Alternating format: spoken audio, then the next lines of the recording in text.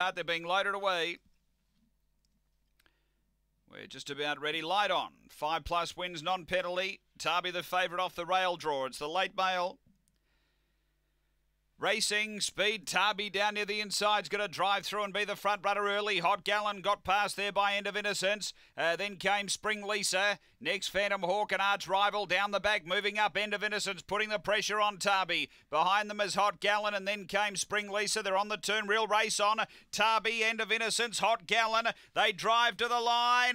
Oh, close. End of Innocence in a photo with Hot Gallon. Tarby's third and fourth is Spring Lisa, then Arch Rival and Phantom Hawk.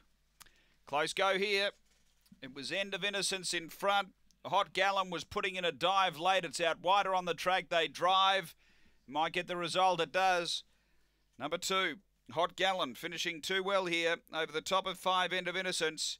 And third will be uh, Tarby back along the inside. So it's two from five.